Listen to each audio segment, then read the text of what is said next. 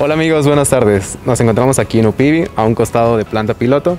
Y el día de hoy vamos a mostrarles un video documental sobre eh, plantas de interés agrícola. En este lado tengo a... Yemixel Camarero Arellano, estudiante de doctorado aquí en UPIBI. Y pues en este lado tengo a... Gema Ramos Martínez, estudiante de la maestría en Ciencias en Bioprocesos en UPIBI. Bueno, y su servidor, Miguel Victorino, estudiante de licenciatura de la carrera de Ingeniería y Biotecnología. Eh, bueno, como les comentaba, vamos a ver las diferencias entre una planta modelo de la biología molecular, la cual es Arabidopsis thaliana, y por el otro lado vamos a analizar una planta de la región de Sonora que se llama Iberbillea sonorae. Eh, entonces, bueno, acompáñenos al cuarto de cultivo.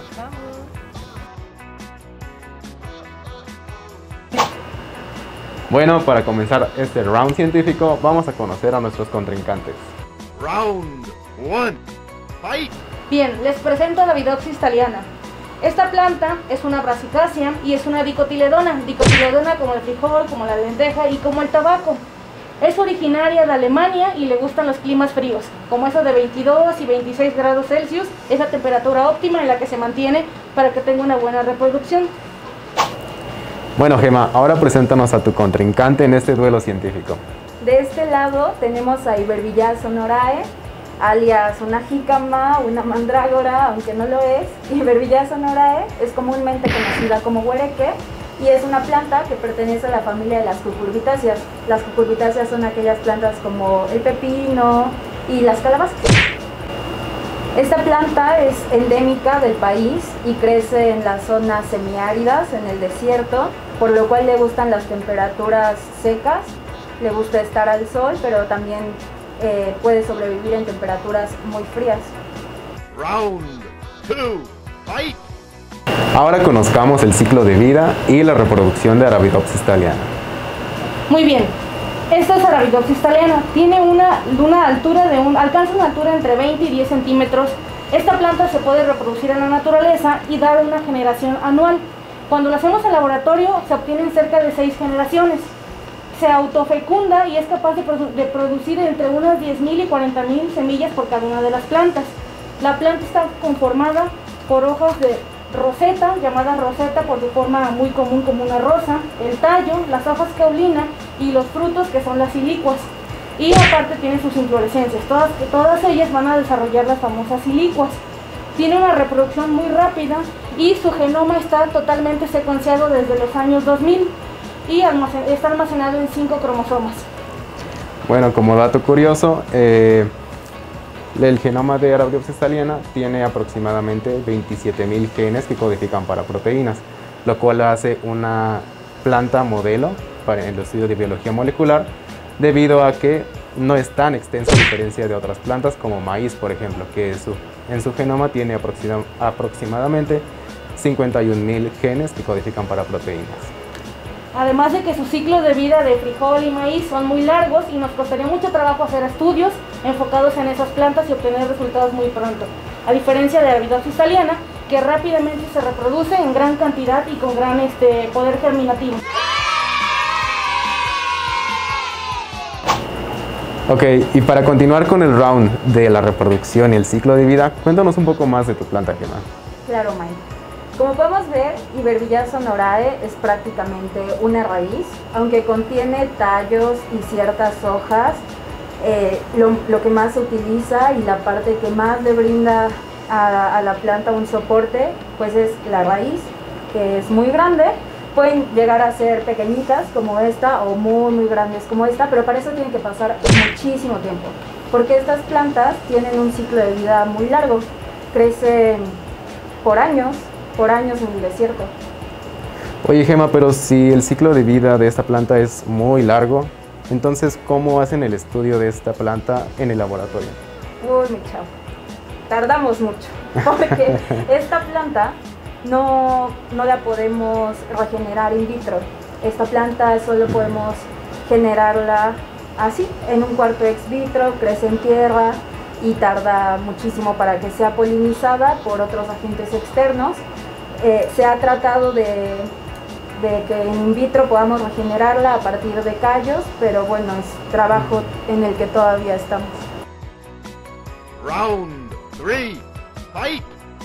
Bueno, Jamie, ¿y ahora qué nos puedes decir sobre estudios previos que se han hecho en Arabidopsis? Muy bien, pues hay un montón de estudios tanto fisiológicos, bioquímicos y genómicos de Arabidopsis thaliana. ¿Por qué? Porque como les mencionaba hace un minuto, es una planta que tiene su genoma totalmente secuenciado. Entonces es fácil tomar información de esta pequeña planta, conocer la función de estos genes, que son cerca de unos 30.000 genes, y en un futuro poder generar esa que esta información que generamos de ellas nos sirva para plantas de interés comercial como lo son el frijol, el sorgo, el maíz, que son un poco más difíciles de mantener en condiciones de cultivo. Entonces hay un sinfín de estudios relacionados con la función de estos genes. Ok, Gemma, y en cuanto a estudios preliminares, ¿qué nos puedes decir sobre Ibervillea sonorae? Bueno, Ibervillea sonorae tiene estudios muy pocos años atrás, científicos. Sin embargo, ha sido utilizada por muchos, muchos años atrás por culturas como la Seri y la Yaqui. Este uso ha sido empírico, ya que lo usan como una planta con actividad farmacológica, pero justo ahora, conforme ha pasado y ha avanzado el tiempo y la ciencia avanzando a la par, podemos tener estudios en donde analizamos los metabolitos de esta planta, como lo son muy de especial interés para nosotros los flavonoides, que creemos que le confieren a la planta pues esta actividad farmacológica.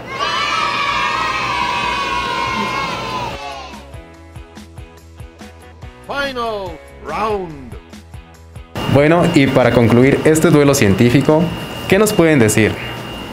Bien, pues Arabidopsis thaliana, aunque no es una planta que tenga alguna propiedad medicinal, es una planta muy pequeña y tiene muchísimas cualidades que nos van a servir para conocer las funciones de los genes y después llevarlas para plantas de interés agronómico como frijol, maíz, tabaco y cualquier legumbre que nosotros queramos en un futuro. Gemma. Aunque esta planta tiene muchos metabolitos de interés, sobre todo hacia la parte farmacéutica, pues como ya vimos es de muy difícil acceso y muy difícil reproducción, por lo cual se complementa muy bien con Arabidopsis, ya que podemos encontrar los genes de Iberbillea sonorae y pasarlos a Arabidopsis, que es una planta modelo. Perfect. Eh, ¿Nos, puede- ¿Nos podrían contar un poco más sobre los proyectos que se están desarrollando aquí en el laboratorio con Arabidopsis thaliana o ya sea con Ibervillea sonorae? Sí, claro que sí. Bueno, mi proyecto consiste en encontrar la función de unos genes. De los 30.000 genes que se presume presenta Arabidopsis thaliana, yo quiero conocer, o en el laboratorio estamos interesados en conocer la función de unos pequeños genes que se llaman microRNAs. Esos microRNAs a su vez regulan a otros genes y estamos enfocados principalmente en el desarrollo reproductivo, en saber cómo es que le hace esta pequeña planta para lograr tener o germinar semillas y tener así nuevas generaciones. Entonces es lo que queremos saber. ¿Qué va a pasar con nuestra plantita cuando ya no tenga estos genes? Y lo vamos a hacer a través del famoso sistema CRISPR-Cas, donde va a llegar una proteína y va a eliminar esa, pequeña, este pequeño gen, para saber ahora sí cuál era la función de nuestro gen. Bueno, eh, Gema, y en cuanto a tu proyecto con Ibervillea sonorae, ¿nos puedes contar un poco?